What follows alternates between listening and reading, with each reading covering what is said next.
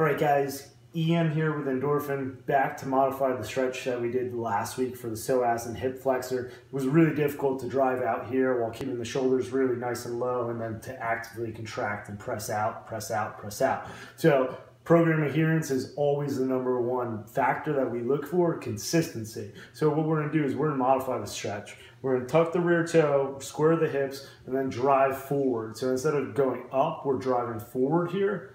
I should feel this in the front of my right hip or whatever hip is with the knee down.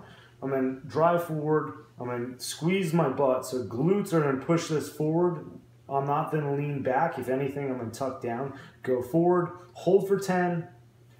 You're gonna do 10 dynamic contractions. So I'm gonna contract and pull back. I'm gonna contract and pull forward. Do that 10 times. Then I'm gonna go back to a 10 second static hold, 10 dynamic contractions, finish it off with a 10 second static hold, swap to the other side.